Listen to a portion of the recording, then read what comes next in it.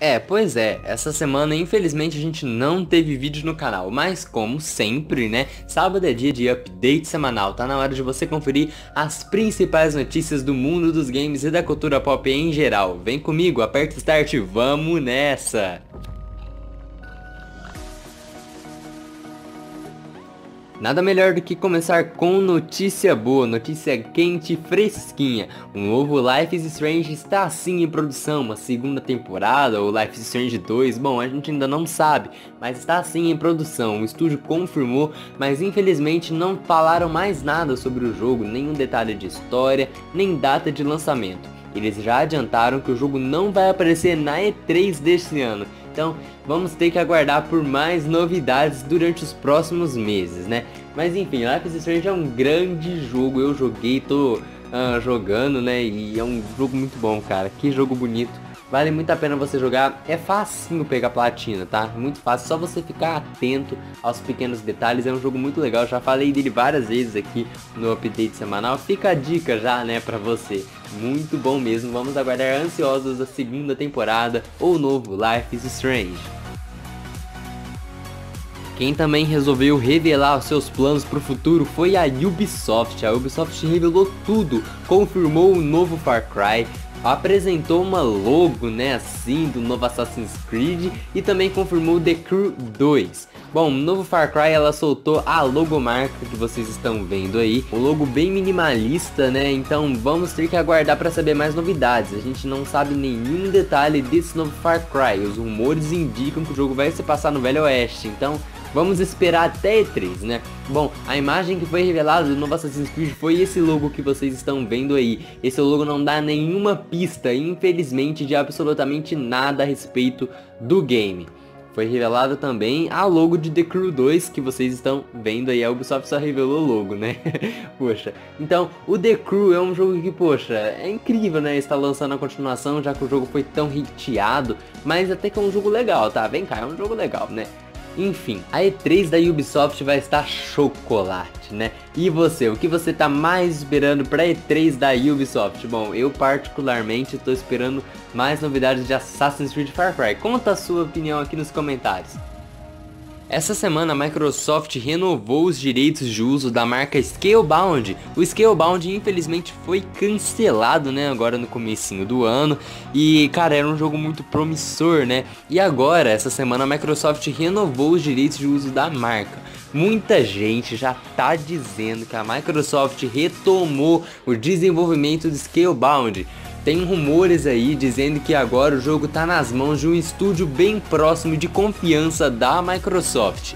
E a fonte que soltou esse rumor foi uma mesma fonte que vazou alguns detalhes, né, sobre o Project Scorpio. Então a fonte tem uma certa confiança, podemos dizer assim. Bom, mas infelizmente a gente não pode, né, pensar que, poxa, a Microsoft então tá desenvolvendo de novo o Scalebound, porque esse negócio de renovar patente acontece muito na indústria.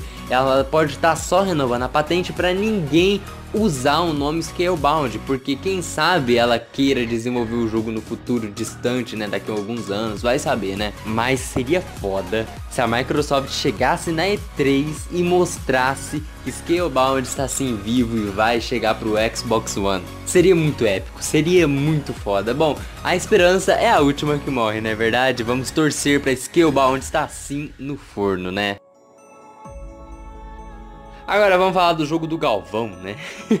vamos falar de Destiny. Essa semana a gente teve várias e várias notícias sobre o game, além desse trailer de gameplay que vocês estão vendo aí, muito foda, né? A Band, que é desenvolvedora do jogo, revelou que o jogo vai ter um sistema de clãs um pouco mais melhorado em relação ao primeiro. Foi revelado também que a versão para PC não vai chegar junto com a versão de console. A versão de console chega em setembro, a versão de PC vai chegar até o final do ano. E a versão de PC está sendo desenvolvida por um outro estúdio, mas fica tranquilo porque não é um estúdio terceirizado, tá? A Band garante que é o mesmo jogo, só que vai rodar a 60 FPS e sem limite de frame rate. O jogo vai suportar também resolução 4K, o PCzinho foda pra rodar isso aí, né?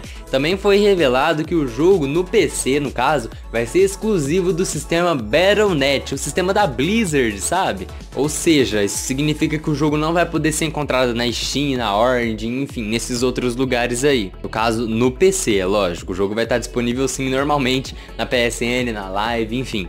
Destiny 2 também não vai ganhar uma versão pro Nintendo Switch. Poxa, né? Que jeito, né? Não roda, né, velho?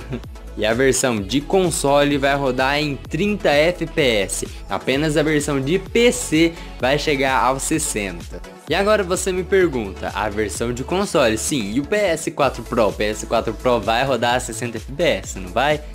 Não, o PS4 Pro não vai rodar Destiny 2 em 60 FPS, infelizmente. Isso é um pé na bunda de que comprou o PS4 Pro, sem maldade. Acharam que ia jogar o jogo na última resolução e tal, mas infelizmente não. E o Project Scorpio? Bom, o Project Scorpio vai sim receber uma versão especial né, de Destiny 2. Segundo a Band, a versão de Project Scorpio do Destiny 2, né, que vai ser o mesmo jogo das outras plataformas, vai chegar a 60 FPS rodando em 4K. Então vamos aguardar, né? Bom, o Project Scorpio é um console monstruoso, né? Então é lógico, né, que ele tem poder de sobra para rodar o Destiny 2 em 4K 60 FPS. O PS4 Pro não aguenta, né? Porque Uh, são dois consoles completamente diferentes. O PS4 Pro é muito inferior ao Xbox Scorpio. Bom, felizmente a Band disse, né, que eles não vão ficar presos, né, à versão dos consoles padrão na versão de Project Scorpio, ou seja, não vai ser um port comum da versão de console para o Project Scorpio, né? E então o jogo vai chegar bem melhorado, né, no Project Scorpio o Baby Groot, os Guardiões da Galáxia, os Vingadores, o Doutor Estranho, tá todo mundo junto e misturado no novo Lego Marvel Super Heroes 2. Olha só que legal, né? O novo trailer vai chegar em breve. Parece que vai ser um jogo muito bom, vai chegar no final do ano, em novembro. Vai ter versões para PS4, Xbox One e a versão de Switch chega em dezembro. Muito legal, né? Apareceu de uma hora para outra, né? Eu adoro Lego e esse parece que vai ser muito legal. Ainda mais por trazer os heróis de Guardiões da Galáxia. Espero que tenha Homem-Aranha também, viu? Bora pra dica da semana? Dica da semana vai pro game Ninokuni, um RPG japonês muito bonito mesmo. Pode confiar que eu tenho certeza que você vai gostar bastante. Nele a gente acompanha a história de Oliver, um garoto que tenta recuperar a alma da sua mãe que infelizmente faleceu após um acidente que foi causado pelo próprio garoto. A mãe dele, ela tem um coração fraco, a gente pode dizer assim, e ela vai salvar o garoto, né? Quando ele tava se afogando ali e tal. Quando ela foi salvar ele, ela acabou se esforçando muito. Ela não podia fazer isso, né? Já que ela tem coração fraco. Então ela deu a sua vida para salvar a vida do filho, sabe? É uma história muito bonita mesmo. Então o garoto vai atrás tentar recuperar a alma da mãe. O jogo passa para os jogadores o sentimento de como a vida é difícil e dura, sabe? Além dessa história muito bonita, muito envolvente, né? A gente tem um enorme apelo visual. O jogo é muito bonito, sabe? A direção de arte dele é campeã, é nota 10. Eu poderia ficar um tempão falando sobre esse jogo aqui porque é muito legal, tem bastante coisa para poder falar a respeito dele. É um jogo que eu sinceramente recomendo para todos vocês esse RPG japonês muito legal, exclusivo de PlayStation 3. Dá uma chance para ele que eu tenho certeza que você vai se emocionar bastante. Bom galera, aqui eu vou finalizando o nosso update semanal. Pode ser que eu tenha deixado alguma notícia importante de fora, porque eu fiz esse vídeo de última hora correndo mesmo, sabe? Bom, mas é isso aí, né? De qualquer maneira, se você gostou do vídeo, deixa seu like favorito. Se for novo aqui no nosso canal, se inscreve aí. Em breve tem a análise de Injustice 2 aqui no Press Start. Já tá no forno, o Eduardo já gravou, a gente já jogou. Em breve vocês vão poder conferir. Então se inscreve aí pra não perder e ativa o sininho, tá certo? Bom, eu vejo vocês em breve. Um grande abraço, falou e até a próxima.